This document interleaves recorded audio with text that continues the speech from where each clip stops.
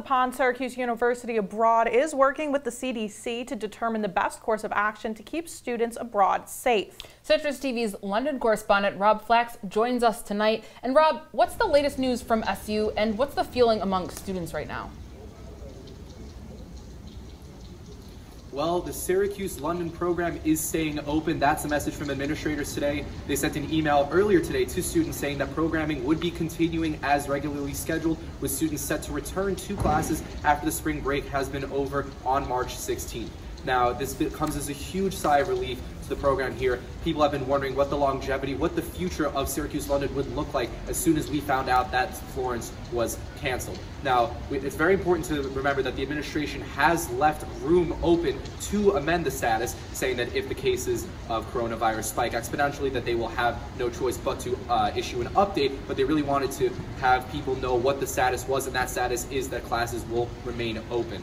Now, um, while most students will be returning for spring break, I did speak to a few students who, because of underlying health issues, decided that returning to London would be too much of a risk. Those students will be taking remote classes from either home or Syracuse main campus. While those are that's just a small minority of students, the most message here today is students will be returning after spring break to Syracuse London campus.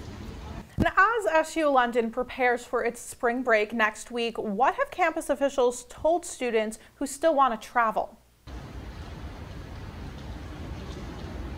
Well, guys, in terms of travel, the Syracuse administration is really telling students to stay careful, stay updated on those alerts from the CDC, from the World Health Organization, and from the NHS here in the United Kingdom. The big thing for students is the administration is saying that they should not, under any circumstances, travel to Italy, which at the moment has over 3,000 cases of coronavirus. The administration saying that any students that do choose to travel to Italy and are caught up in either the quarantine or self-isolation, the administration will not be footing the bill for any consequences of students who disobey this policy. As for any other countries, the uh, administration is saying students can use their best judgment and personally judge what level of risk they're capable of taking. But again, the main message is there will be a campus for those students to return to after the spring break is over. Our Rob Flaks from London. Thank you, Rob. And to clarify, SU has prohibited travel to any country that has a level 2 or higher advisory from the CDC, which includes Italy. Any students who don't follow this guidance will be on their own and have to follow local health guidelines. They also will not be able to return to any Syracuse University campuses. Students who wish to leave their programs can continue classes online or here in Syracuse without penalty.